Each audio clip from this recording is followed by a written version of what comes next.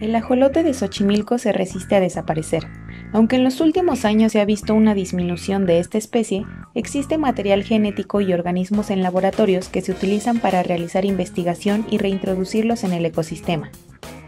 La mala calidad del agua, el incremento de las temperaturas por el cambio climático y el exceso de especies invasoras como la tilapia y la carpa son algunos de los factores por los que la población de ajolotes ha ido mermando en los canales de Xochimilco pero a ello se suma también la endogamia.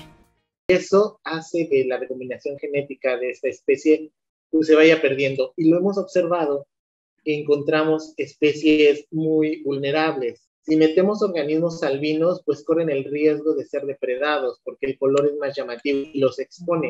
Y esa eh, problemática es precisamente porque hay una recombinación genética entre parientes. Por ello, especialistas universitarios buscan restaurar el ecosistema en el que se desenvuelve este anfibio, así como las interacciones que tiene con otras especies. En ambiente natural estamos hablando, por ejemplo, de 0.001 organismos por metro cuadrado. es ah, muy bajito, a diferencia, por ejemplo, con, carpa y tilapia, ¿no? Que, son organismos que llegan a tener un, exceso en cuanto a, a las poblaciones.